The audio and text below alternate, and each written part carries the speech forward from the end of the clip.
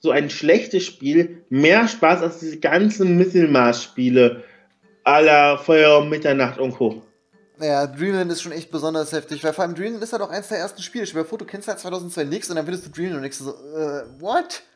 Ja, ja. Das Spiel beeindruckt dich, halt, beeindruckt dich halt wirklich nur, wenn du irgendwie so 14, 15 bist, ne? Ja, ja, klar. Ich meine, du musst halt überlegen, wir sind gerade in einem Zeitalter noch vor Vampire Storm 1. Ja, also wir haben. Ja. Ich meine, es, ey, es gab alte Macht 1 noch nicht. So halt ist das Spiel. Ja, eben, genau das ist es. Ja, also wir sind wirklich in, also in, einer, in einer Zeit, was vor alte Macht. Genau. Mit eurem Let's Play Retro und eurem DSD Steve, oder willst du noch einen Schluck trinken? Oh, nö, wir können direkt weitermachen hier im Ja, Horror. genau. Ja, genau. Also in der letzten Folge haben wir angefangen, dieses wunderbare Spiel aus dem Jahr 2001 zu spielen. Steve hat schon gesagt, das ist ja eines der ältesten Spiele aller Zeiten. Wir hatten im ersten Part das Vergnügen, Brett kennenzulernen, einen arbeitslosen Schriftsteller, der Zeuge eines Überfalls von Banditen geworden ist und danach in diese seltsame Stadt hier gekommen ist, in der er dann ins Dreamland kam und gestorben ist. Und nun spielen wir die Räuber, die äh, diesen Überfall veranstaltet haben. Genau. Seth und irgendjemand anderes, den wir gerade nicht im Team haben. Seth ist ein Bandit auf Level 1, logischerweise. ja, wir spielen eine, ja, dem Original sehr nahe Version. Das heißt, wir bekommen ganz normal Schaden. Wir werden nicht cheaten oder ähnliches. Wir haben lediglich einen, uns einen Gegenstand gemacht, damit wir halt die Parts beenden können, indem wir dann freispeichern können. Genau. Scheinbar ist ja erstmal alles verschlossen, wie es sich gehört. Und da wir Banditen sind, brechen wir natürlich auch nirgends ein. Aber das ist so auch so ein Silent Hill-Ding. Verschlossen. Verschlossen. Also in Silent Hill ist auch immer jede Tür verschlossen. Ich kenne ich kenn nicht viel von Silent Hill, aber wenn man irgendwas sagt, was so charakteristisch für Silent Hill ist, verschlossene Türen. Ja, das hier ist auch auf jeden Fall sehr charakteristisch für Dreamland. Naja, ich meine, letztlich, wie gesagt, diese ganzen RPG-Maker-Spiele basieren ja einfach nur auf entweder Silent Hill oder Resident Evil Mhm. oder, Wobei ich ja interessant oder halt finde- beide. Guck mal, Was ich halt interessant finde, meine Resident Evil ist ja dann irgendwann mehr oder weniger zum Action-Game geworden. Also die, die neueren Resident Evil sind deutlich actionlastiger als die, als die alten. Und Silent Hill, glaube ich, gibt es ja gar nicht mehr. Echt, Silent Hill gibt's nicht mehr? Krass. Also wenn ich es richtig im Kopf habe. Also ich glaube, der letzte Silent Hill Teil ist schon ewig her. Guck mal, hier gibt's schon gar keinen verschlossen mehr. Hier können wir einfach gar nicht mehr mit Ja. Da hat sich der Entwickler dann gedacht, okay, das jetzt einfach bei jeder Tür zu machen, ist irgendwie auch ein bisschen Wo- wo- sehr anstrengend vielleicht. wo, wo ist meine, wo ist meine, meine Copy-Paste-Taste? Äh, äh? Ich finde es auch cool, wie der Spieler wirklich einfach im Stich gelassen wird. Jo, du bist in dieser echt extrem übersichtlich gemappten Stadt, ja. Und, äh, keine Ahnung, gehst deines Weges, suchst irgendwie scheinbar Menschen, suchst den Plot. Oder? Mach- ja, genau, genau. Effekt, effektiv ist es ja das. Wir, sind hier gerade auf der großen Plotsuche. Wir hoffen, Ja. dass wir irgendwann eine Map finden. Unten geht zum Beispiel auch gar nicht mehr weiter, ne? Ja. Also 2012 kam der letzte Resident, äh, Silent Hill Teil. Ja, okay, das ist schon echt verdammt lange, ja. Deswegen, also ich würde gerade sagen, ir- ir- irgendwie gibt es die, die, äh, die Spiele nicht mehr. Und Resident Evil kommt ja weiterhin raus. Ja, ich muss auch sagen, beim RPG Maker ist ja auch der große Horror-Hype vorbei. Also es gab ja mal so eine Zeit, wo echt ganz viele Horrorspiele sozusagen rausgekommen sind für den Maker, ne? Mhm. Ich überlege gerade, ob es denn echt noch so wirklich Horror gibt. Ich meine, man muss kurz dazu sagen, es gab auch auf, dem- auf dem PC so eine Horror-Ebene. Doom 3. Ja, Doom 3 war ja auf einmal ein, ein Horror-Game. Und das Problem war damals an Doom 3, ähm, Doom 3 hat es halt vorgemacht, aber es war halt so, so eine neue Ära und 4 hat es halt einfach besser gemacht. 4 ist das, was Doom sein wollte. Übrigens ziemlich geil 4. Du Aber nur wenn ihr 18 seid, Leute. Genau, ich würde mich auf jeden Fall freuen, wenn du dich auf jeden Fall auch mal so ein bisschen hier auf das Spiel mit konzentrieren würdest, damit wir am besten einen Ausgang finden, weil bei dem Nebel hier sehe ich wirklich nicht besonders viel. Ich würde halt nicht weiter mit ihrer Tür interagieren. Also ich denke mal, ähm, wir sollen ja Essen suchen. Ich kann auch eine Logik- Also letztlich Kannst du hier nach unten? Genau, nee, hier nach unten, genau, das meine ich ja von. Hier nach unten kann ich zum Beispiel nicht weitergehen. Ja. Ich schon, würde mal rausgehen aus der Stadt. Ah, da ganz so logisch, wo es weitergehen muss. Geh nach links. Geh nach links. Pass auf, ich habe eine Idee. Nach oben, Hier nach oben, ja. dann geh nach links. Geh nach links. Nach- Oben und links. Ah ja, du hast recht. Sehr schön, danke Steve. Jetzt sind wir nämlich hier. Wir müssen nämlich gar nicht dahin, wo Brad Ja, war. genau, genau. Das war jetzt nämlich auch mein Gedanke, dass wir sozusagen einfach nur Brad folgen müssen. Ja. Genau. Aber irgendwie war meine Orientierung gerade absolut kaputt und Steve, genau deswegen habe ich halt dich im Team, oder? So, nach links. Ich habe es mir jetzt irgendwie schon gedacht, weil ich da ja rechter Hand auf eine Sackgasse gestoßen bin. Aber Steve, ich hoffe, du gruselst dich schon, oder? Ja, unendlich. Ich Schon der hoffe- alte Mann ist nicht mehr da. Das Lustige ist, ich werde mal jetzt nicht über den Switch gemacht, sondern über eine neue Map. Weil er mit Switch es nicht umgehen konnte. Siehst du?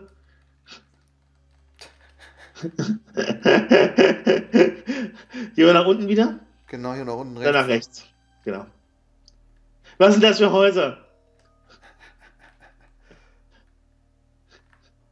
Weißt du, das Coole ist, dass es draußen noch nicht mal dunkel ist. Ne? Ich meine, es ist zwar schon wieder übelstes Herbstfeeling draußen, ne? Ja. Ist schon eigentlich echt schön, ne? Es ist zwar manchmal ein bisschen sehr kalt, aber ansonsten ist es eigentlich ganz cool draußen, ne? Ja. Wobei ich froh bin, dass es nicht schneit. Also, ich muss sagen, aus persönlichen Gründen bin ich nicht so der Freund von zu starker Kälte. Ja, zu starke Wärme wurmt dich aber auch. Ja.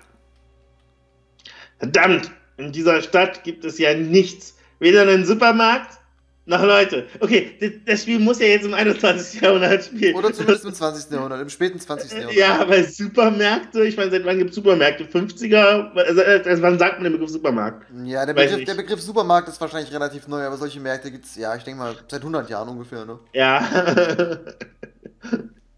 oh, guck mal, da ist ein Speicherpunkt aufgeploppt. Was zum Teufel war das? Das kam aus dem großen Haus zu meiner Linken. Ja, da ist plötzlich ein Speicherpunkt aufgeploppt. Das ist ja cool. Guck mal, jetzt können wir das Spiel sogar ganz regulär durchspielen, ohne dass wir nochmal cheaten müssen. Was geht denn? Achso. Was geht hier ab? Lebende Leichen, ich muss schnell zu Krater. Tja, das Und wir nicht raus, sondern verdammte Scheiße, ich erklärt, ich muss hier wohl durch. ist halt die Frage, ob wir einfach wieder abhauen. Alles ausweichen. Ja. Alles ausweichen. Genau. Vor allem, wie diese Leichen extra noch diese ganzen Kisten platziert haben, dass man hier so extrem ähm, Slalom an denen vorbeirennen ja, muss. Das ist geil, das ist oder? wieder Duke-Musik. Oh, guck mal hier, das ist super. Oh mein Gott. Oh mein Gott. Das ist. Oh. Nein, nein. Oh, okay. Nein, das war's. Okay, Bring warte, äh, ja, warte, warte. Wir haben noch 135 Trefferpunkte. Okay, versuchen Sie mal kaputt zu ändern. Los, komm. Okay, ich hab's, ich hab's irgendwie geschafft, mich vorbeizumogeln. Hast du es gesehen, Steve? Ja, top. Sehr schön, sehr schön.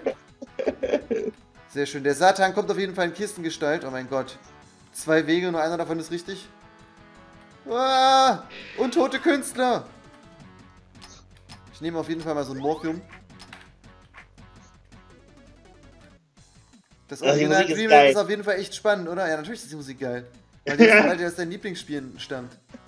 Okay, sehr schön. Der Zombie, ja, okay, der, der bewegt sich schon relativ schnell. Den muss ich erstmal ja. herkommen lassen.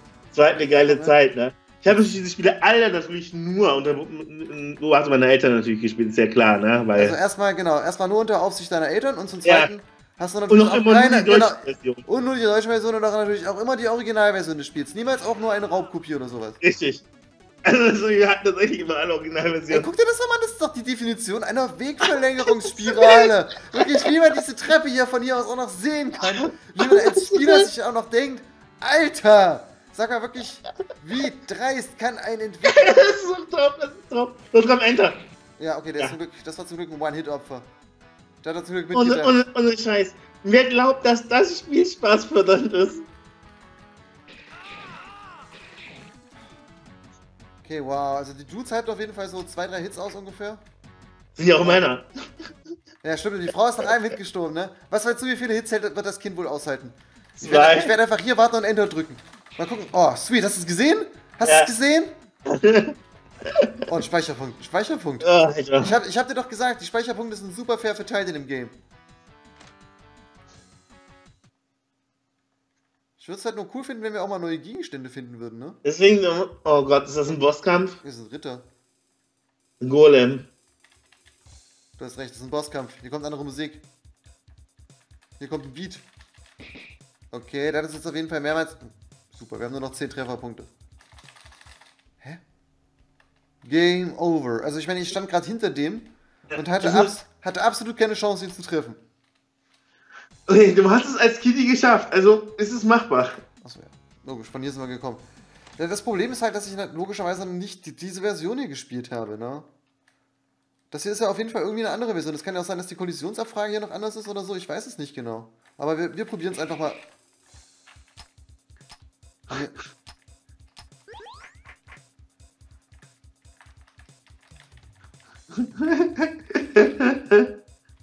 Hm, das ist ja komisch. Ich glaube, du musst ihn von vorne angreifen. Von hinten hast du keine Chance. So. Mal siehst du, ich habe ihm gerade eben auf jeden Fall Schaden gemacht. Ich mache ihm zwar Schaden, aber er, macht mir gleichzeitig auch immer Schaden. Alter Falter, ey. Das ist, das ist, eben das Komische, als wäre irgendwas nicht richtig eingestellt. Also ich glaube. Ja, jetzt ist es ein Dreamback-Kampfsystem. Das ist alles falsch.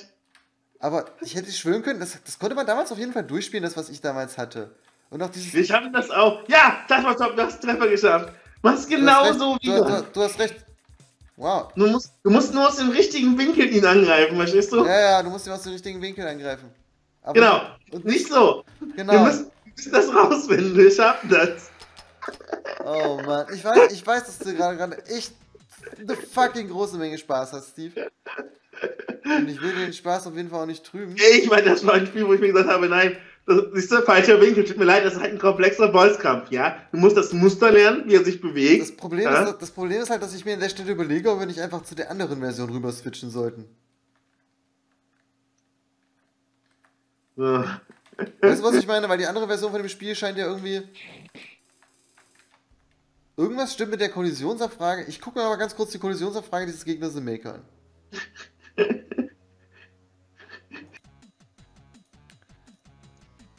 So, diesmal habe ich mir die Haare schneiden lassen. Wir sind wieder zurück. Wir haben nichts geändert, weil da gab es irgendwie nicht besonders viel zu ändern.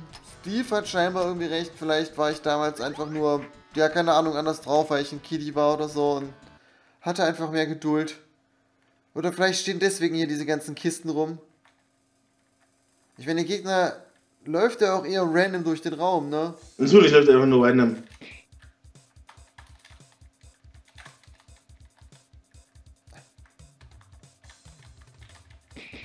Also von hinten treffe ich ihn irgendwie scheinbar gar nicht. Mhm. Und ich bin mir, ich bin mir nicht ganz sicher, wenn da so eine halbe Animation kommt, heilt das irgendwas? Nee. Äh, nicht heilt das irgendwas, sondern macht das irgendwie Schaden oder. Guck mal, jetzt. Siehst du? Bam. Doch, er ist tot. Wir haben es geschafft. Okay, wir mussten also scheinbar wirklich einfach nur einen Trank nehmen. Ja. Okay, gut, dann habe ich da mal wieder aus einer Mücke den Elefanten gemacht. Steve, du hast recht. Siehst du? Das Merkwürdiges passiert in dieser Stadt. Deswegen müssen wir echt übergehen, dass wir keine Heiltränke zwischendurch nutzen, weil ich denke, wir brauchen das alles für solche Bosskämpfe. Irgendwas super Merkwürdiges passiert in dieser Stadt und vor allem sollten wir demnächst mal echt neue Heiltränke finden. Ja. Verflucht! Ich muss jetzt zurück zu Krater. Aber wo zum Teufel bin ich? An einer anderen Stelle der Stadt. Die Stadt kann doch eigentlich nicht so groß sein. Guck mal hier, das Dreamland hat die Fässer, äh, die Krüge in Form eines Ls angeordnet. Ja. Ist das nicht creepy?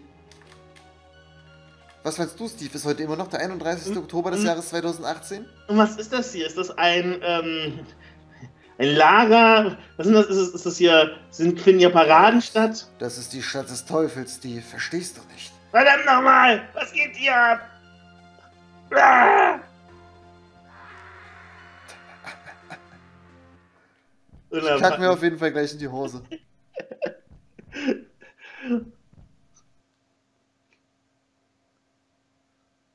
das nicht wie Noah? Wow, dieses. Das Chipset passt absolut nicht zu dem Chipset, das wir davor hatten. Verdammt, wo bin ich? Vorher sind äh, Sie in Sicherheit. Sie, Sir, denn ich spreche Sie extrem förmlich an. Hm. Ich habe Sie schwer verletzt in einer Seitenstraße gefunden und hierher gebracht. Was zum Geier passiert in dieser ver verluchten Stadt? Die verluchte Stadt ist geil. Ich wurde von Zombies angegriffen, glaube ich, oder nein, das konnte ich ganz eindeutig äh, spezifizieren. Und Ja. dann war ich an so einem seltsamen Ort. Da war es heiß, dunkel und ziemlich. ziemlich heiß. Ich meine, heiß und dunkel, hä? Es kam mir vor, als hätte ich den ganzen Dreck nur geträumt. Ist doch gut. Ja. Ich habe zwar keine Ahnung, von was Sie da reden, aber mit dieser Stadt stimmt wirklich etwas nicht. Ich bin aus der Nachbarstadt und bin hier, weil wird eine Reifenpanne haben und wir auf Hilfe hofften. Ja, genau. Wir hoffen, das ist. Das ist jetzt aber Resident Evil Style, oder? Dass wir diese Ja. Reifenpanne. Ja, wir haben eine Reifenpanne. Ach, guck mal, hinten ist so eine alte verlassene Villa. Da klingeln wir einfach mal, gucken wir einfach mal, vielleicht können uns die Leute helfen. Guck mal, dann sehe ich schon eine Truhe. Eine Truhe, in der wir vielleicht endlich mal Heilgegenstände finden. Ja. Es ist, als ob alle diese Menschen tot sind. Sie sprachen von Zombies. War das wirklich ein Traum? Ja, nein, das war natürlich real, deswegen sprechen wir von Zombies, weil Zombies absolut real sind. Ah, ich habe keine Ahnung. Es war so real. Es kann kein Traum gewesen sein. Vielleicht war es eine Vision. Mein Freund ist auch hier. Also, sorry, hat nichts mit uns beiden. Er erkundet gerade die Stadt. Also ist er wahrscheinlich tot. Vielleicht wird's doch was mit uns. Naja, vielleicht findet er etwas. Das ist echt so geil. Das ist auch wieder diese typische Konstellation. Hm, okay, nein, du bleibst hier und ich erkunde die Stadt. Er erkundet die Stadt? Scheiße, wir dürfen ihn nicht alleine lassen. Leider haben wir vorhin in den Maker reingeschaut, wir wissen, dass es nur vier Figuren gibt. alleine werden ihn diese verfluchten Dämonen sicher auch angreifen. Wir müssen ihm helfen gehen. Aber ich meine, hätten diese verfluchten Dämonen nicht auch schon längst Rinoa angegriffen? Ja. Sie bleiben hier. Sie haben eine Schusswunde an der linken Schulter. Ich werde ihn suchen gehen. Ich bin bald zurück. Und dann werden wir gemeinsam über einen Fluchtplan nachdenken. Ja, genau, weil Brad in dieser Situation auch ganz bestimmt Rinoa vertrauen wird. Ich meine, Rinoa, wenn sie ihren Boyfriend wiedergefunden haben wird, wird es ganz sicher nicht wieder zurück zu Brad gehen. Oh nein, er ist noch so ein Typ. Äh, Rinoa, hier sind überall Zombies, du müssen aus dieser Stadt fliehen. Okay, du hast recht. Ja, also. Verdammt, was gibt's da zu überlegen? Wir verziehen uns einfach. Diese verdammte Stadt liegt in einem Tal. Ja, das und? Ist insofern jetzt ein Problem. Und überall um sie herum wimmelt es nachts nur so von Wölfen. Ist, Warum? Diese Stadt ist im Mittelalter gelegen, Steve. Nachts kannst du nirgends mit dem Auto langfahren, weil da kommen überall Wölfe und stürzen sich auf das Auto drauf. Ich, ich meine, es scheint ja eine Zeit als sein, wo normale Leute auch Autos besitzen. Also es müssen mindestens 50er Jahre sein oder so, ja? Also, hä? Ja, aber auch in den 50ern hatten die Leute noch Angst vor Wölfen nachts. Weil diese Stadt hier, vor allem, diese Stadt scheint ja auch so extrem hinterwäldlerisch zu sein, aber trotzdem so extrem riesig. Es passt einfach vorne und hinten überhaupt nicht zusammen. Und nicht zu vergessen, dass sie in einem Tal liegt. Ja, in einem, in, im, im Tal des Schreckens. Nicht, gab's nicht ein RPG Maker Trash Game, das so heißt? Nee, das war Insel des Schnee. Wie ist es? Oh Gott, stimmt, das recht. Ist das Ähm, nicht sogar Teil des Schreckens oder so? Ich, ist, ist, ist das nicht ein Spiel von Anklos? nein, schön wär's. Oder? Das könnte auch sein. ich weiß es Nach nicht. Steve ist ja auch egal, wir spielen hier Dreamland 1 und das machen wir erstmal weiter, oder? Ja. Es ist jetzt genau 2.34 Uhr. Ich werde versuchen, um 3 Uhr wieder hier zu sein. Ich hätte gerade mal 26 Minuten Zeit, das ist nicht besonders viel. Verhalten Sie sich ruhig. Die Überblende gerade eben war auch geil. So, ähm, Renoir ist eine Anwältin und sie hat weniger Trefferpunkte als die Männer. Ja, ihr seid eine Frau, ne? Ja. Zweimal Morphium gefunden, yay. Das finde ich echt ein bisschen schade, dass Renoir weniger Trefferpunkte hat als die anderen. Ich wollte das Ganze natürlich so originalgetreu wie möglich lassen. Ja. Es ist wirklich sehr sexistisch von dem Spiel. Dass die ja. männlichen Figuren alle 200 Trefferpunkte haben und Renoir hat irgendwie nur 170. Aber na gut, was soll's. Äh, mit Brett, um den können wir ja rumlaufen, aber mit dem können wir nicht mehr großartig interagieren. Das ist auch ein cooles Bücherregal, oder? Ich muss aber sagen, dieser 3D-Effekt gefällt mir sogar irgendwie. Sich ein Spiel kommt, ja. Na, das ist doch dieses Megan Blue Chipset hier, ne? Ah, okay, okay. Deswegen würde ich denken, aus gar keinem Spiel, sondern es ist dann einfach eine Megan Blue. Speicher mal. Achso, ja, stimmt. Nee, genau, wir, ja, wir haben erstmal noch ein ah. paar Minuten. Wir sind wieder in dieser Stadt hier. Guck mal, in dem Haus brennt jetzt mal Licht. Wie sind überhaupt in das Haus reingekommen? Ist da noch alle Häuser verschlossen? Ja, Wir können auch wieder ganz problemlos hinein. Das ist schon mal interessant. ja. Noch eine Okay. Tür. Jetzt haben wir ein kleines Medi-Kit gefunden. Oh nein, ein kleines Medi-Kind. Oh nein, sie haben ein Kind in eine Truhe gesperrt. Hm, verschlossen. Ich glaube, er wollte sich im Norden der Stadt umsehen. Okay, das ist sogar einigermaßen logisch. Ich meine, die kann darüber gesprochen haben, ja. Kommen wir jetzt auch an die Stelle, wo alle waren. Selbstverständlich. Wir kommen erstmal an einen Speicherpunkt. Das sehe ich schon mal als äußerst positiv. Ganz bitte. Verschlossen. Hä? Was? Da ist eine Treppe, die nach unten führt. Kann, was, was kann denn da verschlossen sein? Bestimmt ist mein Freund da unten. Was? Warum? Nein, da, da ist eine Blutspur. Bestimmt ist mein Freund schon tot und das ist die Blutspur, die zu ihm führt. Ich muss diesen verdammten Parkschlüssel finden.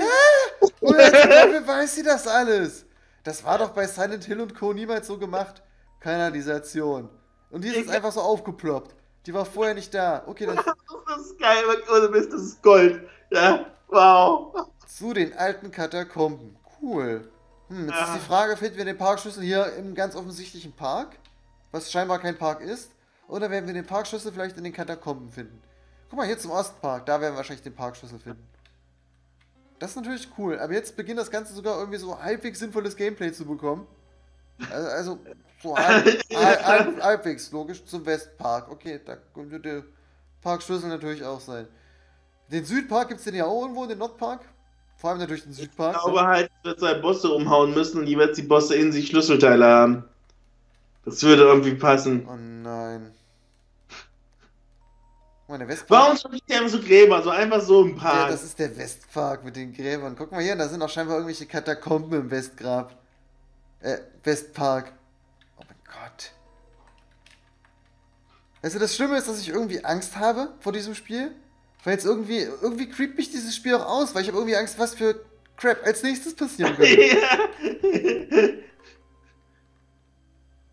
Bosskampf. Ah, das ist, ist das hier ein Labyrinth? Nee. Oh, das ist, das ist auf jeden Fall ein Zombie. Nee, das ist ein. Wolf.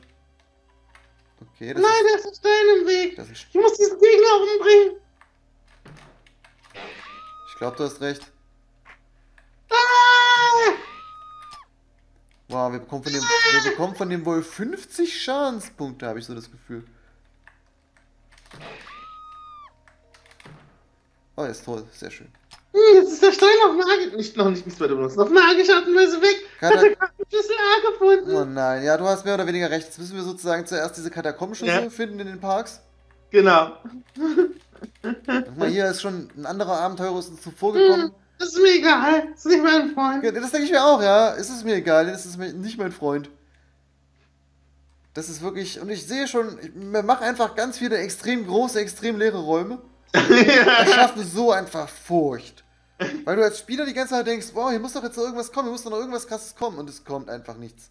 Es kommt einfach nur, dass du gegen irgendeinen Wolf kämpfst, damit Ich- Stein verschwindet und du zu irgendeiner Truhe durchgehen kannst. Was jetzt auch noch gepasst hätte, ja. Ich hoffe, das hat er sich für einen der späteren Teile aufbewahrt, dass jetzt hier vor allem die Stadt verschlossen wäre. Oder ich kann nicht weitergehen, solange hier Zombies sind. Dann kommen aus allen Gräbern Zombies raus. Ich würde aber trotzdem vorschlagen, wir machen hier an dieser Stelle dann in der nächsten Folge von Let's Play Dreamland weiter. Einem Spiel aus dem Jahr 2001, als Kollisionsabfragen echt noch ein bisschen anders waren. Und Steve hatte recht, als ich damals in Kili war, hatte ich einfach nur ein bisschen mehr Geduld. Jetzt ist es so, dass ich nach drei Fehlversuchen denke, Moment, hier kann irgendwas nicht stimmen. Aber nein, Steve hatte recht. Und ich würde mich auf jeden Fall wie immer über nette Kommentare und Daumen nach oben freuen. Steve, du doch bestimmt auch, oder? Na, auf jeden Fall. Na gut, dann ähm, ja, wünschen wir euch noch einen schönen Abend, denn dieses Let's Play gibt es nicht tagsüber zu sehen und äh, draußen ist es immer noch hell. Mal gucken, vielleicht machen Steve und ich sogar noch einen Part, das werden wir dann gleich noch sehen. Aber Ja. na gut, äh, bis zum nächsten Mal hier bei Dreamland. Und möget ihr nicht selbst im Dreamland landen. Tschö, tschö. Also allerhöchstens in Silent Hill.